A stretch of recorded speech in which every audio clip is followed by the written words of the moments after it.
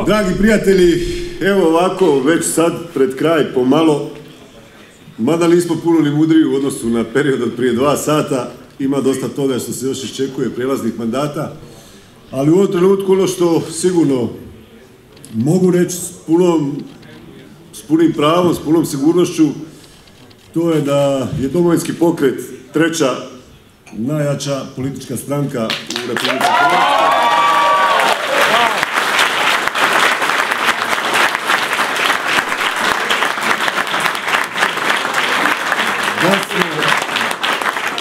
Da smo taj status obranili zajedno sa svim našim koalicijskim partnerima, molim jedan pljesak za njih.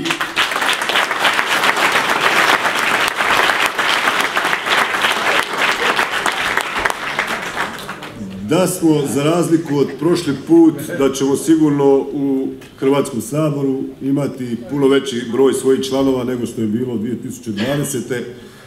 kada je zapravo tih tadašnjih 16 osvojenih mandata pola bilo okruglo od onih koji su pripadali domovinskom pokretu. S obzirom na trenutne ankete, kako situacija stoji, iščekujemo naravno, vidimo da tu ima dosta graničnih mandata, Očekujemo da će ta brojka ići još gore i nadamo se tome. Voljeli bi vidjeti naravno što je više naših članova, pripadnika, pripadnika koalicijskih partnera sa nama da uđu u 11. saziv Sabora. A onda kako smo i komunicirali do sada, od sutra ćemo sjesti i razgovarati s obzirom na to ko će raspolagati s kakvim kartama. Međutim, ono što je sigurno da ostajemo čvrsto pri onim stvarima koje smo komunicirali i do sad, a to je dakle jasno da SDSS ni u jednoj varijanti, ni pod kojim uvjetima,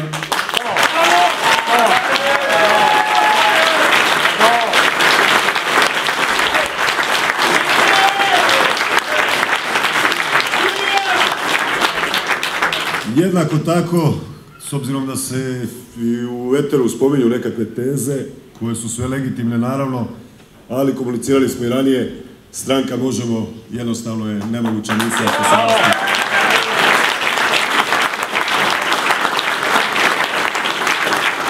U konačnici, hvala svim, prije svega i biračima u Republici Hrvatskoj koji su danas izašli na izbore. Mali prijekor onima koji su mogli izaći, a nisu izašli, da to kroz cikluse koje su pred nama već na izborima za EU parlament pa sve dalje isprave, jer smisao demokratske države je izlazak na izbore i mnogi ljudi su u domovinskom ratu svoj život dali da bi svako od nas imao to pravo, ali ne da ga ostavi neiskorišteno, nego da ga iskoristi. Pa taman smješka nacrtao na izbornom listiću, ne glasu za nikoga. To je jedno. Drugo što je vrlo, vrlo razvidno da ćemo s ovim sazivom i sa ovim izabranim ljudima i s ovakvim povjerenjem i članova i simpatizera i građana, ali i uz pomoć naših koalicijskih partnera moći činiti jedan vrlo značajan faktor na hrvatskoj političkoj sceni. Kad uzmete u obzir ta dva brda, ta dva pola, to crveno pod navodnicima i plavo, non stop smo komunicirali, ne pripadamo niti jednom.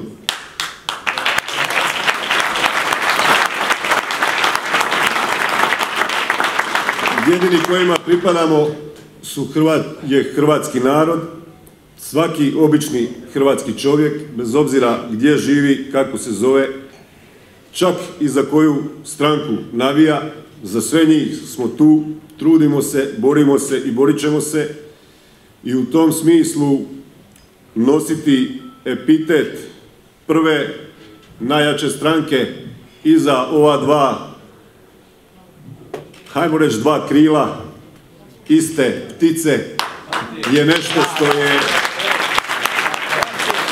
na što sam ja osobno ponosan i stoga hvala svima vama koji ste dio te priče i koji ste doprinijeli da tome tako bude. Još malo se idemo preveseliti, dočekat konačne službene rezultate, nadam se da će ovaj brojka na kontu naših saborskih zastupnika još nešto porasti i da ćemo s punim pravom u danima pred nama krojiti sudbinu Republike Hrvatske. Hvala vam.